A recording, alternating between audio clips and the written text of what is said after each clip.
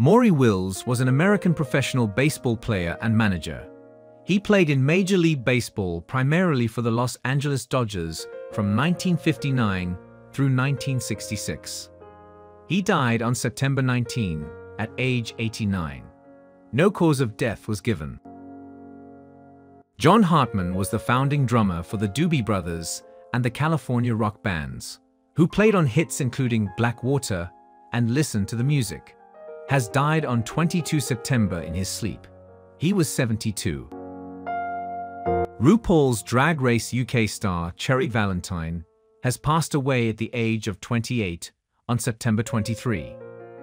The performer, who was known as George Ward outside of drag, also worked as a mental health nurse. George's family shared the tragic news in a statement. No cause of death was given. Dame Hilary Mantel, the author best known for the multi-award-winning Wolf Hall series of novels, has died at the age of 70 after suffering a stroke on September 22.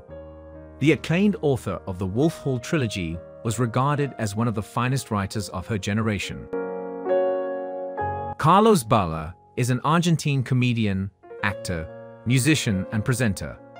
With more than half a century of artistic career, mostly dedicated to children's shows, he performed outstanding shows on radio, television, film, circus, and theater. He died on September 23, at the age of 97 from natural cause.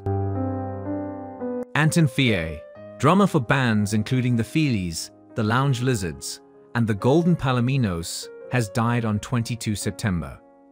Fier's bandmates in the Feelies confirmed the news, paying tribute to Fier in a statement shared with Pitchfork. He was 66 years old. No cause of death was given.